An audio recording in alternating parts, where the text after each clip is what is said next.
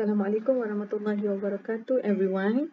So this is the part 3 of 3.3 chemical formula. So teacher dah habiskan part 1 dan part 3 uh, part 2. So uh, sekarang ni kita proceed dengan part 3. So untuk uh, untuk part 2 last time kita dah belajar tentang uh, how to find uh, how to determine empirical formula by using experiment. So ada dua eksperimen iaitu empiric to define empirical to determine empirical formula of M MGO and also CuO. So ada two methods on how to determine empirical formula. Satu method untuk reactive metal, satu method untuk less reactive metal. Untuk reactive metal dia menggunakan uh, dia memerlukan oksigen daripada udara untuk react. Manakala untuk second uh, method iaitu untuk less reactive metal dia memerlukan hydrogen gas. So hydrogen gas uh, diperoleh daripada reactions between metal react with acid. So metal react with acid will produce salt plus hydrogen gas. So hydrogen gas tu yang kita perlukan untuk menjalankan eksperimen for less reactive metal. Okay. Saja nak recap. Alright, so last time uh, kita ada belajar tentang empirical formula. So untuk part 3 kita akan sambung selepas pada empirical formula yang ini. Pada awal uh, uh, pada awal-awal nota kita dah belajar tentang definitions of empirical formula and molecular formula. So definition wajib dihafal. Alright, so empirical formula done. Cara nak buat, uh, cara nak cari empirical formula guna table dan juga eksperimen of empirical formula. Tetapi kita belum lagi belajar tentang macam mana nak dapatkan molecular formula. Alright. Okay, so kita terus pergi pada nota di bawah ni.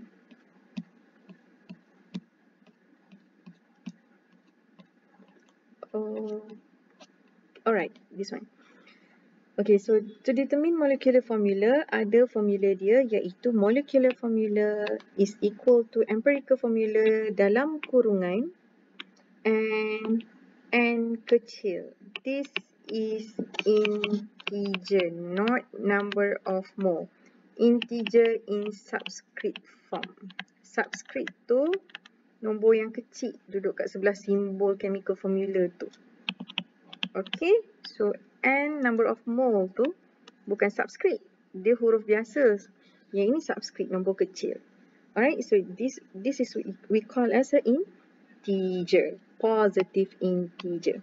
Alright, so kita nak tengok macam apakah perbezaan empirical formula and molecular formula.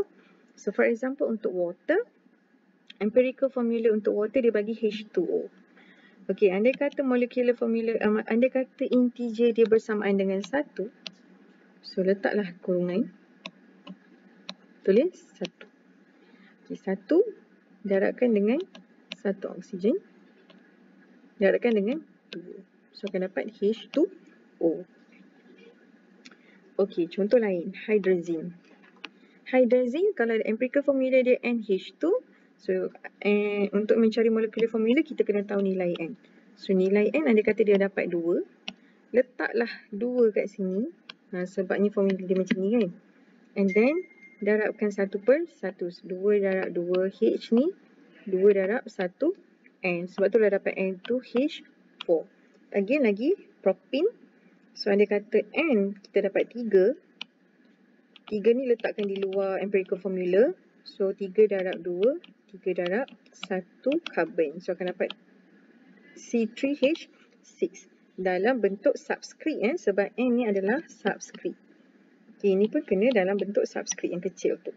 Meanwhile for benzene sekiranya empirical formula dia CH So molecular formula nak cari kena letak dalam kurungan empirical formula CH and subscript kena dapatkan. So dalam soalan ni dia bagi dan contoh dia dia bagi 6. So letak 6.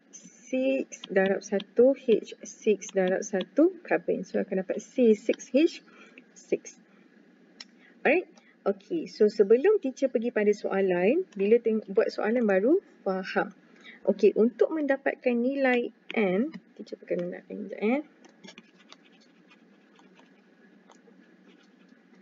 Okey, untuk mendapatkan nilai n kita perlu uh, kita perlu tukar molecular formula ni dalam bentuk mass untuk dapatkan N. To obtain N value, kita kena convert into mass. Uh, convert into mass. Tukarkan molecular formula ni dalam bentuk mass. So, teacher buat ni lah. Convert into mass. Empirical formula kalau dia beri dalam bentuk formula, tukar dalam bentuk mass. Kena kira lah. Macam kita kira molar mass tu. Barulah dapat nilai N. So, lepas dapat nilai N, baru kita tukar balik dalam bentuk simbol. Barulah boleh dapat molecular formula. Tak apa. Tak nampak lagi kan? Okay, teacher just nak tekankan dulu. Nak cari N.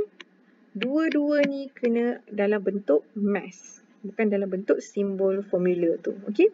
So, alright. So, untuk sebelum kita nak mencari molecular formula, we we first need to know its empirical formula first. Kalau tak tahu empirical formula tu yang masalahnya. Okay, so kita kena cari empirical formula baru dapat molecular formula. Right? So kita pergi terus contoh yang diberikan dalam buku teks. So contoh yang diberikan dalam buku teks ni, simple je. So soalan dia ada dua corak. Satu, dia dah bagi empirical formula siap-siap.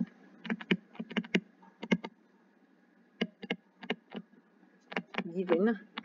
Dia dah bagi. So just proceed je cari molecular mass menggunakan formula. Kedua soalan, dia minta cari find empirical formula dulu. And barulah cari molecular formula. Ha, yang ini agak panjang sikit dan markah pun banyak. Okay. Alright, so kalau example 15, dia dah bagi macam ni kan. Dia dah bagi empirical formula. So empirical formula of a compound, kita tahu compound apa? CH2. Okay, so dia dah bagi dah. RMM ialah 56. Ini merujuk kepada mass of molecular mass. Okay. Okay, what is the molecular formula? Formula tu maksudnya dalam bentuk simbol. Okay, macam mana nak buat? Okay, dengar sini, tengok sini. So, teacher buat cara teacher eh.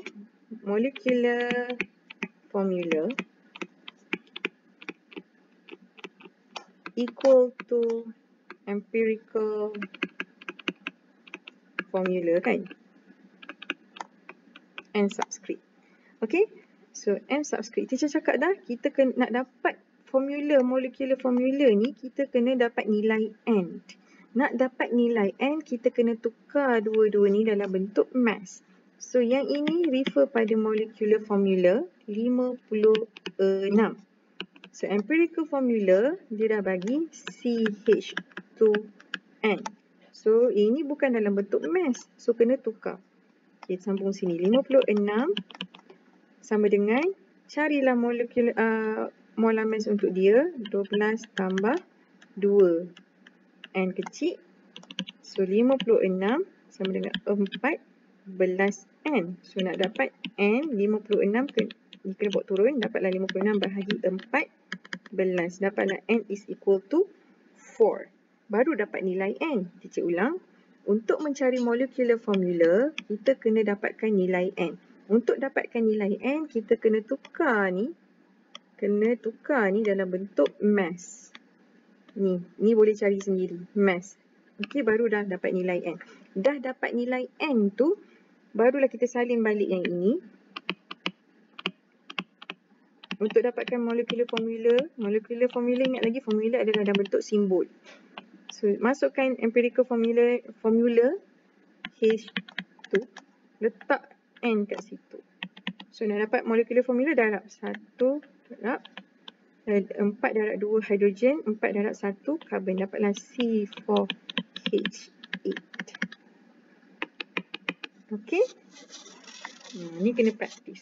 Right, so example 16 ni tak ada kaitan dengan uh, molecular formula tapi teacher akan buat masa slot nanti sebab soalan ni sangat penting. Okay, so apa-apa yang teacher buat dalam kelas, apa yang teacher bagi tu semua penting. Yang teacher tak sentuh, yang skip tu awak tak perasan, ada je yang teacher skip. Uh, gitu, nampak macam semua benda je penting teacher kan? Tak juga, alright. Okay, so ini adalah soalan yang teacher akan cuba buatkan untuk uh, awak lah untuk, untuk lagi faham. Okay, so kita ada dah segera. Okay, so soalan pertama. Ethanoic acid has a molar mass of 60 gram per mole. Its empirical formula is CH2O. Determine the molecular formula of ethanoic acid. Okay, dia dah bagi dah empirical formula siap-siap. Tak perlu nak buat table apa untuk cari empirical, form empirical formula. So, terus menggunakan formula untuk mencarikan molecular, untuk mencari molecular formula. Untuk mencari molecular formula, kita kena dapatkan nilai N. N integer ya, bukan number of mole. N integer. So, buat dulu. Uh, formula dia is equal to empirical formula N kecil. Okay. So, teacher cakap dah. Nak cari N, kena dapat kena tukar kepada bentuk mass. So ini yang biasa yang dia bagi mesti rujuk kepada mass of molecular mass. Okay. Sebabnya empirical formula kita kena kira sendiri molar mass dia. So 60. Empirical formula tadi CH2 ah ni. Cuba dululah CH2O. And so teacher tukar kat sini 60 Berapa tu? 12 tambah 2 tambah 16 akan dapat uh, 6, uh, 30. Okay, nak dapat N. N, 30 kena bawa turun. 60 jadi bagi 30. Dapatlah N is equal to 2. Itu baru nilai N. So, untuk mendapatkan molecular formula of uh, ethanoic acid, kena salin balik N ini. molecular formula uh, equal to empirical formula nak dapatkan formula dia kan sama dengan 2 ok so darablah 1 per 1 C2H4O 2 barulah dapat ok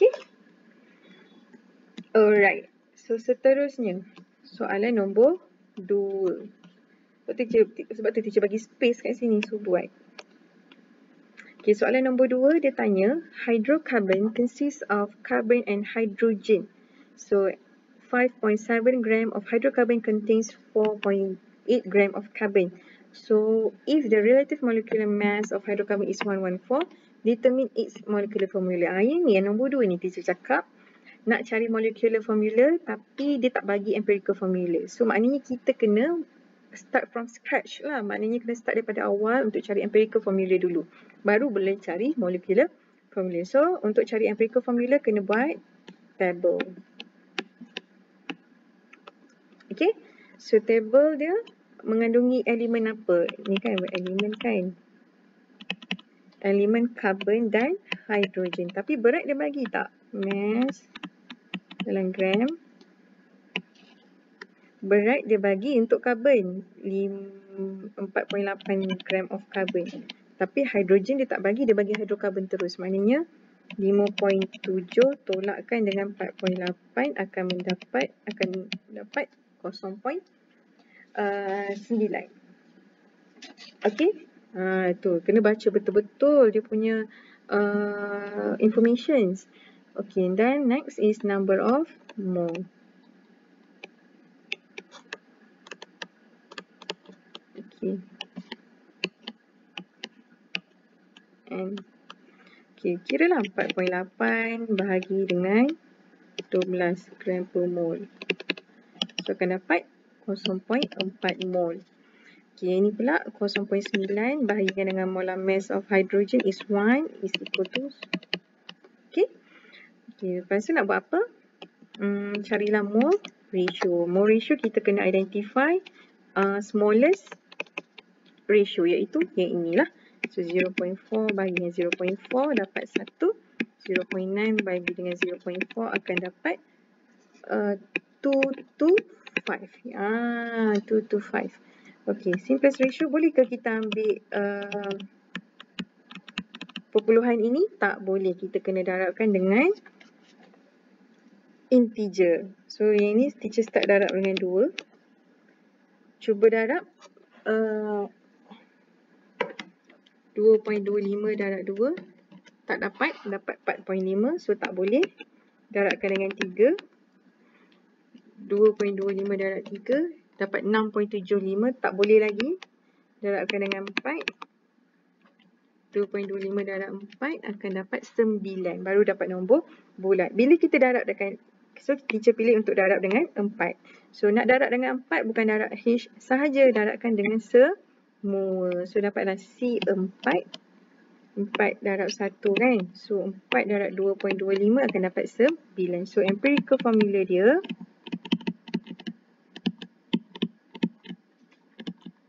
Is C4H9.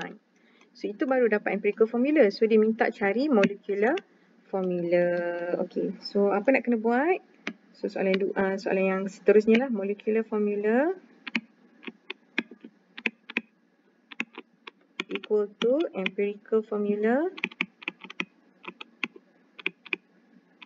and tutup kurungan subscript n. Okay, so ni dia bagi apa? Nak cari, untuk cari molecular formula, cari n. Nak cari n, kena tukar kepada mass.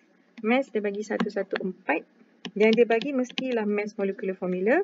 Sebab empirical formula kita boleh cari. So empirical formula kita dapat tadi apa? C4H9. So C4H9 tutup kurungan N. So tukar C4H9 itu dalam bentuk uh, apa? Mass.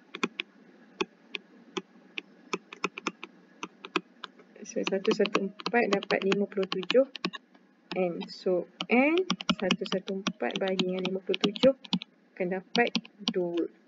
Okay, barulah boleh masukkan balik ini untuk cari molecular formula. Empirical formula tadi apa? C4H9 2. So, darab satu per satu akan dapat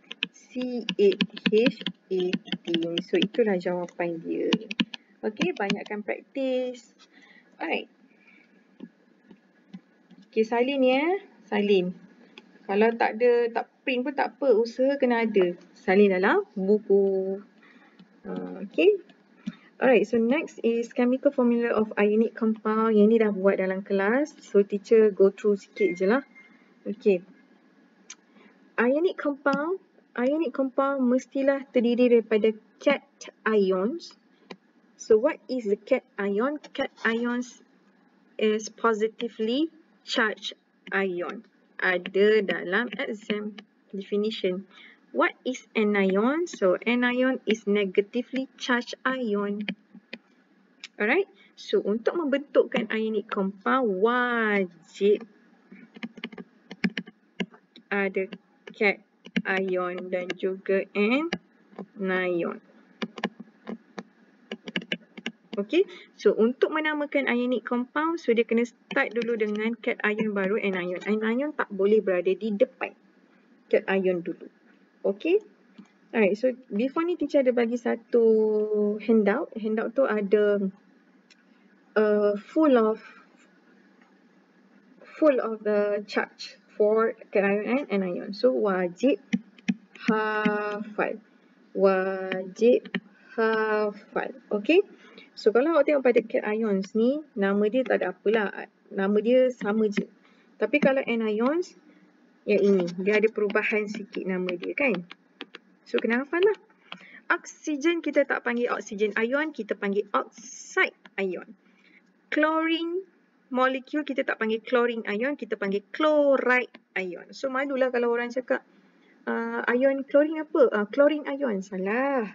Chloride ion. So as a chemist student janganlah chemistry student jangan cakap macam tu ya. Kalau bromine, bromide ions. Iodine, iodide ion. Okay. Seterusnya hafal je lah yang lain-lain. Okay. Alright, so teacher tak nak lama sangat kat sini. Teacher recap balik. Untuk mendapatkan um, ionic compound, kita kena buat cross charge, crossing charge. Okay. So, anda kata dia nak minta what is the chemical formula for zinc chloride? So, kena hafal zinc chloride ni adalah charge 2 plus. Cl adalah charge negatif. So, nya kena cross. So, 2 akan jadi kat sini, kat bawah chlor chloride ions. So, 1 ni, negatif 1, kita ambil 1 tak ada charge. ini bawah zinc. So akan dapat zinc chloride. So yang ini untuk kita check sama ada chemical formula awak betul ataupun tidak. Untuk mendapatkan satu-satu ionic compound yang betul, chemical formula ionic compound yang betul, kita kena pastikan total charge dia zero. Yang ni nak tahu pun tak, tak apa kalau dah confident charge tu betul, so tak perlulah check. Kalau rasa ragu-ragu boleh check. Macam mana nak check? Okay, satu darab dengan 2 plus yang ini. Akan dapat 2 plus. 2 darabkan dengan negatif 1. Akan dapat negatif 2. So, plus 2 tambah negatif 2 akan dapat 0. Sekiranya total charge untuk chemical formula tu 0, makanya betul lah ionic compound awak tu. Okay? Alright, so yang ini tak perlu sebab teacher dah buat banyak latihan dengan awak sebelum ni. Atas awak lah untuk revise balik. Alright, so naming pun tak perlu sebab teacher bagi tahu dah. Untuk anions ada perubahan kat belakang kan. Sebab dia kan ionic compound kan dia kena cat ion dulu. Baru anion. So anion yang kat belakang tu yang akan berubah nama. Okay, yang ini pula untuk uh, ions yang ada dua charge. So untuk membezakan dia ada dua charge, nama dia kena ada ro Roman, ion 2, ion 3. Copper pun ada, copper plus dengan copper 2 plus. So untuk buat copper, copper kena tulis copper 1. Ataupun copper, copper apa? Copper oxide, copper 1 oxide. So copper 2 oxide kalau nak tulis dalam bentuk weight. Okay. Yang ini kalau 2 ni bermaksud dia adalah Fe2 plus. Kalau yang ini 3 dia maksud Fe3 plus. And chemical formula dia berlainan. Iron 2 plus FeO. Buat crossing charge kalau nak tahu. Kalau iron 3 plus, dia punya chemical formula is Fe2O3. Dah berbeza, jauh beza dia. Okay, that's why penting kena faham Roman ni apa. Dan sekiranya dia bagi dalam bentuk yang ini, kena buat ayat, so kena buat Roman ni. Right? Okay, so yang ini pula, uh, mono, di, tri ataupun tetrapen semua ni, teacher dah ajar dalam kelas. So untuk nama-nama ni hanya digunakan kepada uh, yang bukan ionic compound kita panggil covalent. Yang ni tak apa, tak faham tak apa. Yang covalent ni nanti kita belajar. Okay, untuk yang mono di tri ni hanya sesuai digunakan sekiranya dia bukan ionic compound. Macam mana kita nak tahu yang ini bukan ionic compound? Dia tak ada cat ion, dia just ada anion sahaja. So sekiranya berlaku kat situ kalau ion ionic kan dia kena together kan cation dengan anions. Tapi since kalau dia tak ada cations dalam chemical formula dia dia bukan ionic compound. So boleh gunalah ini. Okay, so mono means that ada satu saja oksigen, di sebab ada NO2, dua. Di sini tri bermaksud tiga. Okay, alright, so kerja sekolahnya anak-anak adalah 3.3, 1, 2, 3, 4. Yang ini tak perlu. Okay. So that's all from this uh, from me. So thank you.